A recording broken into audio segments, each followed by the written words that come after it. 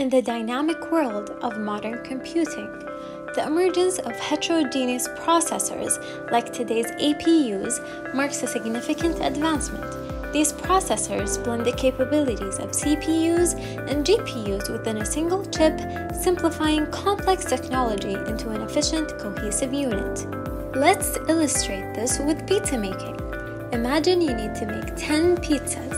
A traditional CPU would approach this task sequentially, like a chef making one pizza at a time, spreading sauce, then adding cheese, then placing toppings, and then baking the pizza before starting the next. The serial method is precise, but it's time consuming. It's ideal for tasks requiring careful step by step execution.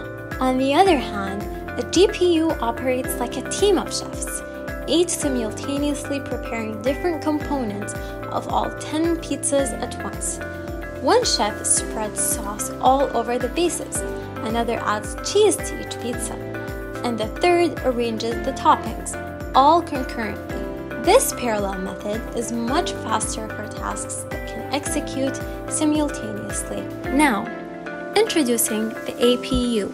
It's like a versatile kitchen where the cooking strategy shifts between the single chef, the CPU, and the multi chef, the GPU, depending on the number of pizzas and the urgency of making them, enabled by the heterogeneous system architecture, which is the HSA. The APU dynamically chooses either the CPU's serial processing for the current task or the GPU's parallel processing for the others. The result is more efficient pizza making process to optimize the computing task for peak performance and energy efficiency. Let's summarize this video. APUs signify a leap in processing technology, blending the CPU's methodical approach with the GPU's rapid parallel processing. They symbolize an era of smarter and more adaptable computing, ensuring optimal performance for a myriad of digital tasks. Through this exploration, we've seen how APUs powered by HSA are revolutionizing the future of technology, combining diverse processing methods to maximize efficiency and performance.